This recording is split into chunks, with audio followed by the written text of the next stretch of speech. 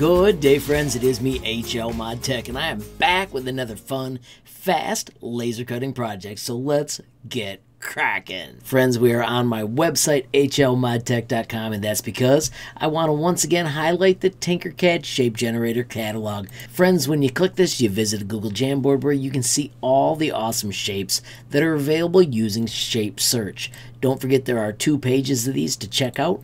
Lots of amazing items. And then also don't forget if you click right here, you can choose make a copy so that you'll have a copy stored in your Google Drive. Now, friends, we're here today because I want to make an awesome little charm out of the mustache. Step one, of course, is to get to Tinkercad. Remember, you can sign in with Google. We're going to click New and we're going to make a brand new 3D design. Simply start at the search, and remember, we had that word mustache. If you do MOUS, it will show up, and bingo, you can bring it in. Friends, I'm going to start by changing the name. So I'm going to do this as Mustache Charm. And then, as you can see, really nothing we can adjust. You can change the size, but nothing else. We're going to fix that by simply doing export as an SVG. I'm going to leave the name. It's in my downloads. Once I hit save, I'm going to delete this item. And then we're going to switch to import and we're going to bring back the project. I only want the art. I'm going to keep the measurements and say import. After a moment, friends, the mustache appears and because we brought it in as an SVG, we can choose outer line and bingo, we've got our charm. Now, right now the quality is low. If we move it up, you'll see that the shape gets much more smooth. You can change your corners from sharp to round, depending on how you want those to turn out. I do think I like round better. And then I'm going to do shift shrink to get this to the size I want my charm to be. Now when I do F to fit view, you can see that this is going to be 4 centimeters. I like that, but watch this. Even though we shrunk it, if I change this to say 7, it actually scales to a size that's a little thicker. So even though we did shift squish, the system is actually pretty smart. Let's see what it looks like if we change that to size 10. I like that. Once you've got the numbers that you think are cool, remember you can tinker with these as much as you want. I said I was going to make it a charm, so let me show you how we do that. Under basic shapes, I'm going to bring out the tube. I'm going to set the sides to 64 so that it's smooth. I like to set my radius for these to size 4. I'm going to set my wall thickness to 1.5 and you can see that is a decent size for the charm hole. I think I might actually switch that to 2 I'm going to match the height of the two projects. So see how that's 2.28? I'm going to just make that 3. I'm going to make this 3 so that they match each other. Pick where I want to put it. I think I'm going to put the charm right there on the corner. And then when I group those two shapes, it is ready for laser cutting.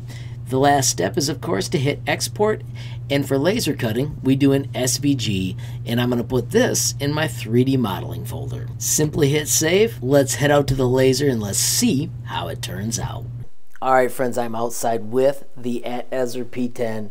I've got a piece of 2x4 that's about 8 millimeters thick. Friends, we're going to try and cut that cute little mustache out of this. Let's see if we can. So we are in Lightburn. We're going to do file import in a brand new project. And let's find the mustache charm. Now currently this is about 5 centimeters. That's really large for a charm. So I'm going to select it all. I'm going to hold down control and I'm going to scale it about its center. And I'm going to cut this at about 3 centimeters. You can see I'm using these three grids to measure it. So now let's move over to our cuts and layers. I'm going to tell you that we are going to use a speed of 200. So let's back that up to 200. And I'm going to do four passes. Let's see if we can get through this with these settings. Let's see if we can get through 8 millimeters with these settings. Of course, let's start by powering on the laser.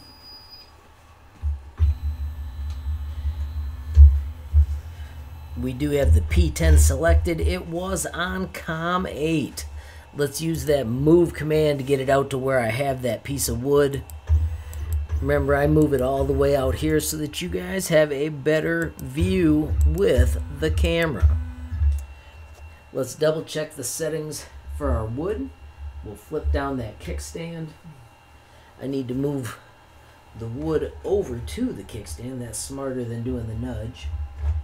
Drop it down, tighten it up, bring that kickstand back up to the top.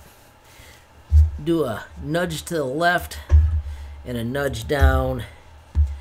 I'm going to set the origin to the bottom left. I think that's going to be too low, so I'll do control up twice. And let's do frame and see how that looks that definitely appeared to land on the spot. I'm going to go two left. That one's probably going to be too far, but let's do frame just for giggles. Yeah, no, that missed. Let's do control click to the right. One more frame. That looks like it's going to use our material wisely. Friends, it's time to grab some goggles. Let's make something magical.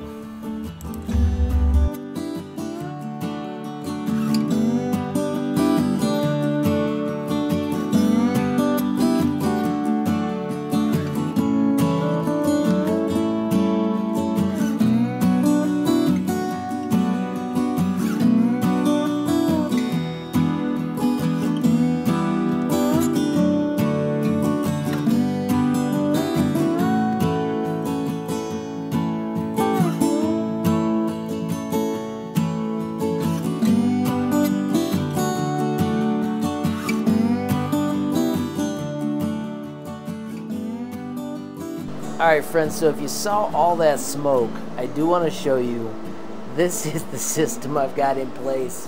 I have got a range stuck up there that vents it out the window. I am totally pleased with how it gives you guys a better view and yet gives me pretty decent ventilation with my laser projects. Cannot lie, I do have to shut it off every time when I'm showing you stuff though because it's that loud. Now friends, check this out. I'm going to have to push it from the front out because of how thin it is. But we were able to cut through 8 millimeters of 2x4 to make an amazing little mustache charm.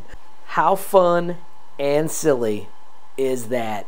Don't forget the design was made in Tinkercad. So much room for you to have fun and make your own cool shapes using that exact same technique. And as an added bonus, you could keep the little mustache that was in the middle.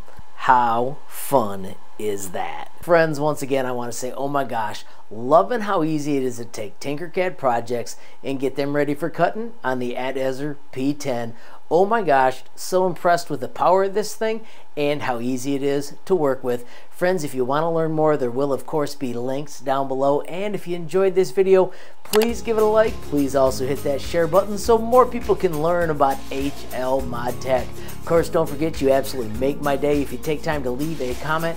And if you haven't subscribed yet, what are you waiting for? Smash that subscribe button. And last but not least, hit that notification bell if you want to be the first to know when there's a brand new video from me. HL Mod Tech. Thanks for watching. Have a great day.